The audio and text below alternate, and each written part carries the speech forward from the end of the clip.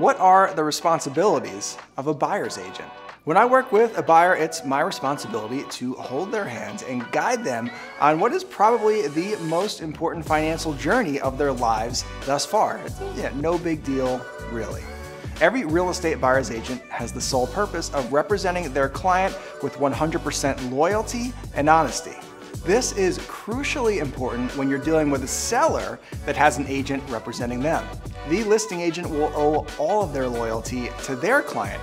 They might be a really nice person in real life, but they're not looking out for your best interests in this transaction. Unrepresented buyers will be at a severe disadvantage when negotiating a sale. Think Mike Tyson versus Michael Keaton in a boxing match, and you're Michael Keaton. I love Michael Keaton, by the way. Still the best Batman in my eyes.